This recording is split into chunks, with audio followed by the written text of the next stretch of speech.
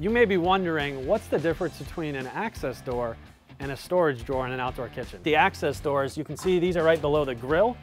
This is typically a really good placement for these just because an access door is almost what I like to call a door to nothing. It gives you access into the island or inside the cavity, but doesn't really give you any storage functionality. The other scenario where it might be convenient or useful is to put like under a sink because you wanna, always wanna have access to your water lines. These are appliances that are actually gonna give you storage functionality, so like true cabinetry. So you can see here, um, it has a frame where you can put different things in there. You can store plates, cups, you know, really anything you want um, but it has true storage functionality to it. The uh, storage drawer that's below this power burner, again, true storage uh, functionality, you pull it out, you have a frame where you can put you know, different things like that that you want to be able to store outside conveniently.